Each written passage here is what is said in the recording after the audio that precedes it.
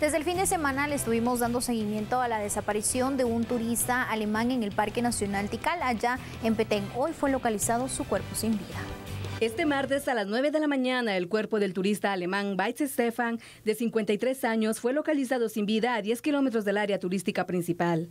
Weitz fue reportado como desaparecido el pasado domingo 9 de enero, luego que un grupo de turistas procedentes de varios países decidieran realizar un viaje a Petén, específicamente para conocer el Parque Nacional Tikal. Durante la travesía, Weitz se separó del grupo. Tras percatarse de lo ocurrido, compañeros dieron aviso a las autoridades, quienes realizaron la búsqueda en cuadrillas.